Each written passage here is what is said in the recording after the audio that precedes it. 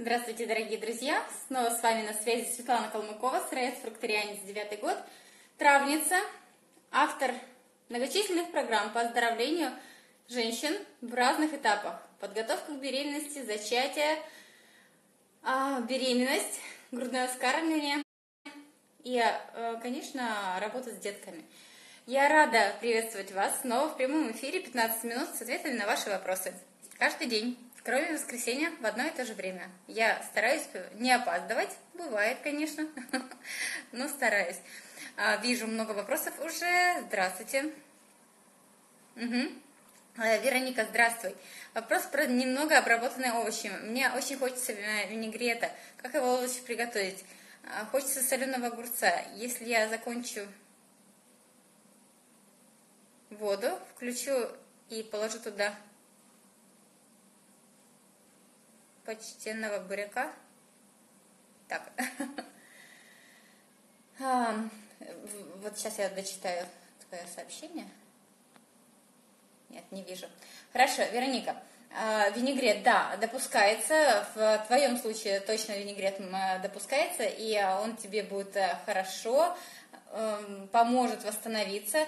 Употребляй его, да. Масло хорошее тоже добавляй, но эм, овощи ты можешь не доваривать, да, лучше печь овощи с запеченными овощами сделать винегрет. То есть они такие немного жестковатые будут, но э, все равно на вкус это не будет негативно э, сказываться.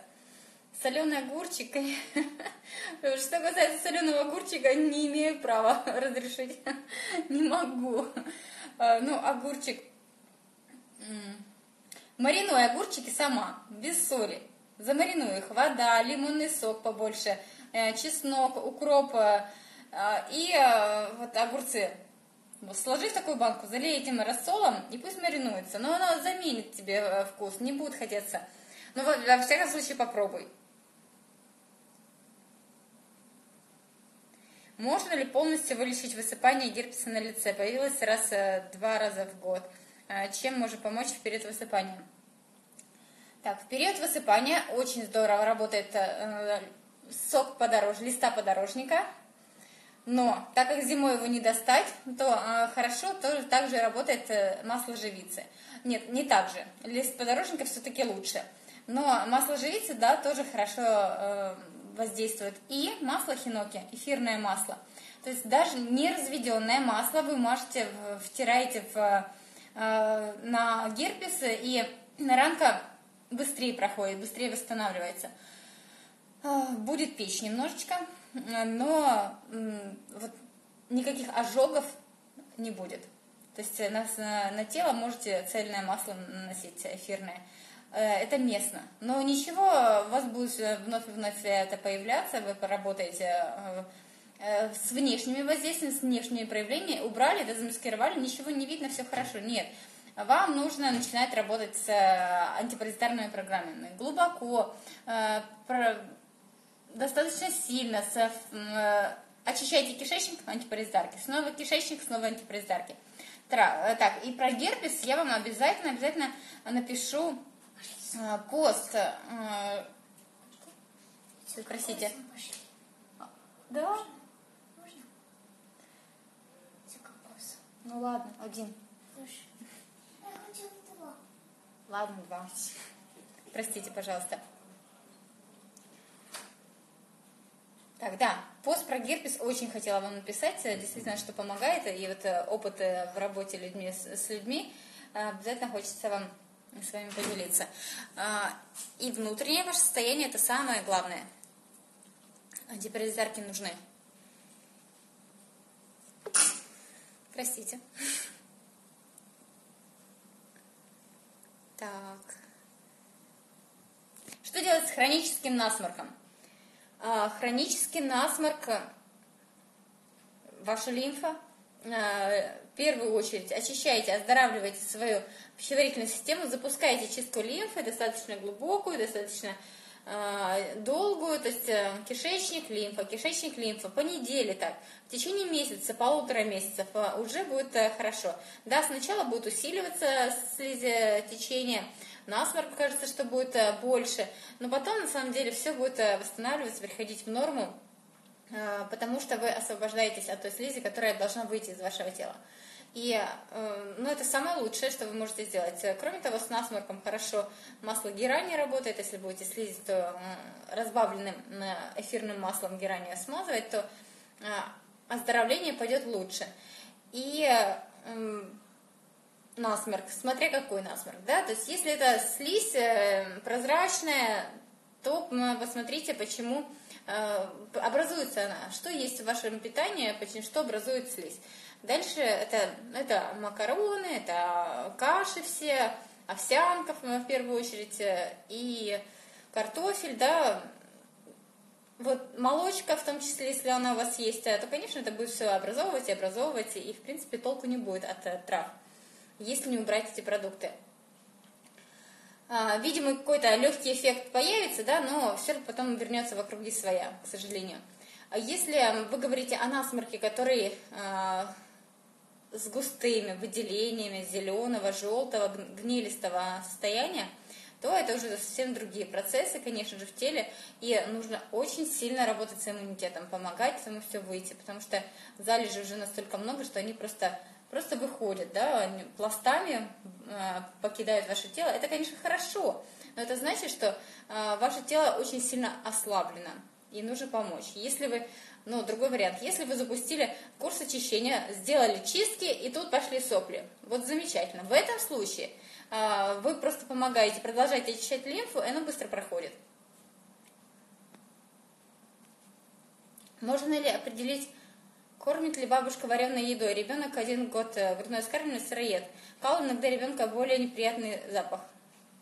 А, неприятный запах от кала, э, кала, вернее, может быть от э, вашего состояния организма. То есть ваше тело время от времени выкидывает, выбрасывает в лимфоток, в кровяное русло, в кишечник те или иные залежи, которые есть. И, соответственно, все попадает ребенку, и время от времени у ребенка может меняться стул, может быть, запорчики внезапные вдруг, да, почему, непонятно, э, либо расстройство кишечника. И все, конечно, это связано с э, материнским молоком, если ребенок максимум на сыром питании. То есть э, грешить на бабушку, не, не, может быть, не, не нужно, а может быть, все-таки она не кормит. Но ваше доверие, конечно, это так по душам поговорить с ней, и э, еще раз напомню, что как это важно для вас, чтобы ребенка не кормили обработанной пищей. А, как это нужно ребенку.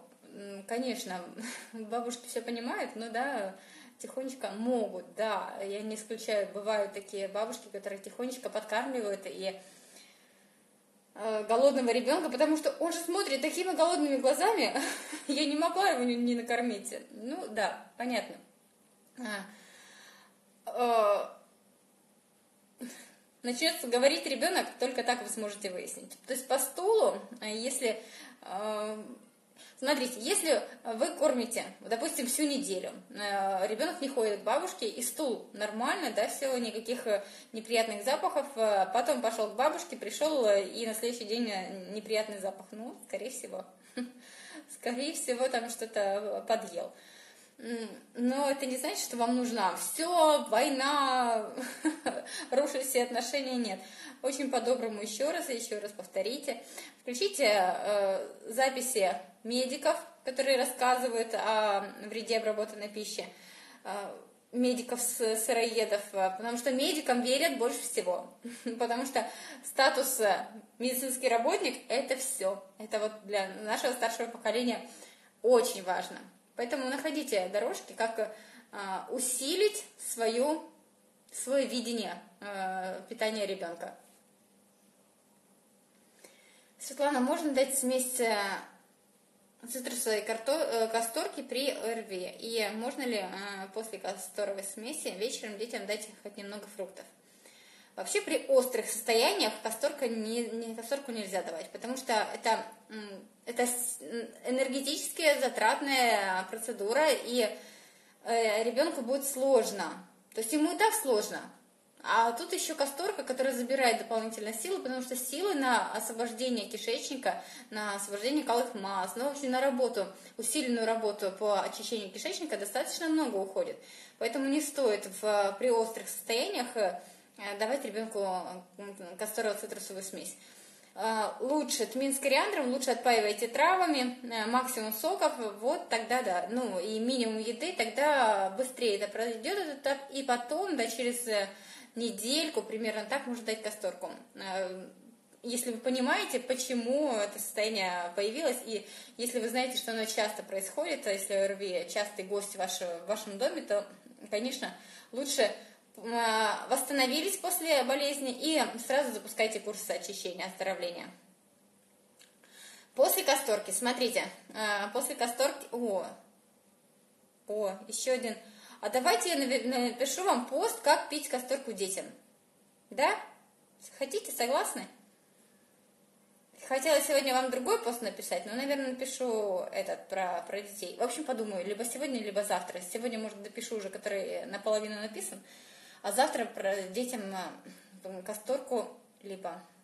В общем, подумаю сейчас. Э, посмотрю свой график э, и обязательно напишу. А, смотрите, коротко, если в двух словах, да, можно есть через первый поход в туалет пошел, соки можно пить однозначно. И, ну, смотря опять же, сколько ребенку. И фрукты можно давать, э, ну, пошел ребенок в туалет, один, второй раз, уже видите, что послабление идет, да, фрукты можно давать, ягоды. Фрукты, наверное, ну, точно не сладкие, э, лучше кисло-сладкие, и, а лучше ягоды. Э, ягоды либо смузи, либо исключающий банан, либо зеленые коктейли, а, ну и, вот не сладкие фрукты, да, можно. Пост нужен. Так, я вам хотела написать пост про детей, касторку. Забыла, видите? Что я еще хотела? Ладно, переслушаю э, эфир и, и вспомню. А, вот, герпес, герпес, герпес. Вот, два поста. Мне нужно написать. Травами можно убрать ночной НРС, мальчик 7 лет. А, к сожалению, НРС, как и НКПРС, это, это психосоматический толчок. Травами а, не уберете. А, это только ваша работа с, как мамой. Потому что отношения у вас с ребенком отражаются, вернее, ваши отношения – это следствие, как следствие получается НРС – и ребенку, да, достаточно уже взрослый ребенок, и э, этого не должно быть. То есть если до трех лет считается еще норма, да, то есть ребенок может писаться э, ночью, во сне, вернее, э, и это считается пределы нормы, но уже вот в семилетнем возрасте точно есть вот нарушение в эмоциональном контакте с мамой. У меня есть где-то записи, я, может быть, выставлю вам в, э, на подписку запись. Посмотрим. В открытый доступ я, может быть, выставлю. Ну, в общем-то, нужно, во-первых, работать с... Э, в двух словах не могу вам рассказать, что нужно делать для этого. Но если у вас есть, э, я постараюсь тоже вам выставить, найти эту запись свою и выставить в открытый доступ. Но в двух словах вот, если у вас есть хороший сказочный терапевт, либо песочный терапевт. Берите ребенка, отправляйтесь вместе э, на э, сеанс. Несколько сеансов. Если хороший специалист, я вам гарантирую, что это все проходит. Если вы будете работать с собой но найти нужно хорошего специалиста. Я сама работала, но очно, понимаете, я с детьми работаю только очно. Вот э, приезжает на сопровождение к нам, и в песочной терапии мы прорабатываем много-много-много зажимов, много проблем. И сказкотерапия тоже потрясающе работает, когда мы пишем свою сказку, когда помогаем детям Э, через сказку допрожить, допрочувствовать, э, домыслить, э, доплакать в конце концов. Вот разные состояния прорабатываются, так что ищите хороших специалистов. Последний вопрос. Как получить витамин D? Так, витамин D, как получить в сыром Санкт-Петербурге? Взрослому ребенку до года. А, спасибо вам за то, что вы есть. Спасибо вам тоже за то, что вы есть. И вы каждый, каждый из вас уникальный. Читали мой пост? Я вас очень сильно а, благодарю и обнимаю, а, потому что вы, вы действительно волшебные. Вы мамочки, вы берегинюшки, вы, вы если даже не мамочки, то вы в будущем прекрасная мама. И э, вы восхитительная женщина. Я очень рада, что у меня вот такие вот подписчицы, как вы. И подписчики, если есть. А, так, витамин D. Смотрите, что вы можете делать? Витамин D, да, солнца нет, но если у вас есть светлое окошко, даже без солнца, засаживайте все окошко горшочками с а, зеленью. Самое важное это а, ботва моркови, ботва свеклы. Вот высадили, семена посеяли, либо даже купили морковку, купили а, свеклу и вот посадили, либо отрезали там а, крышечки и крышечки посадили, и вот зелень пошла расти на окошке все равно впитывает ультрафиолет очень много. Процессы запускаются. И именно в этой зелени находится максимум очень много витамина D. И я вам рекомендую вот засадить все окошки, как мы делали, когда мы зимовали в холоде, и добавлять эту зелень в салаты, в э, сыроедные супы, в смузи, в коктейли, куда угодно. Добавляйте максимум этой зелени. И это поможет вам дожить до лета в здравии, ну а летом получать уже солнечное солнышко дополнительно. Ну и витамин D, витамин К. В12 – это в первую очередь, если есть снижение, если занижен гемоглобин, ферритин, то это понятно, что есть паразиты. А, и нужно работать с антипаразитарными программами. Кстати, травы, которые являются антипаразитарными травами, они очень здорово также поднимают и витамин D, и вот все необходимые витамины, которые я перечислила поднимает на более стабильный уровень. И динамика заметна. Да, она не, не такая активная, да, не такая сильная, большая, вернее, не такая быстрая, как э, от э, препаратов, но эта динамика заметна, э, видно по ребенку, по состоянию ребенка, что процесс улучшения есть, и это самое главное. И это самый самый природный, самый верный способ, потому что а, ни один препарат к здоровью не приведет. Вот не было никогда в жизни такого, чтобы препараты привели к здоровью. Вот, все. Бегу, до свидания, всего хорошего. Завершаем прямой эфир. Э, завтра в это же время жду вас в 13.00 по московскому времени с ответами на ваши вопросы. До свидания.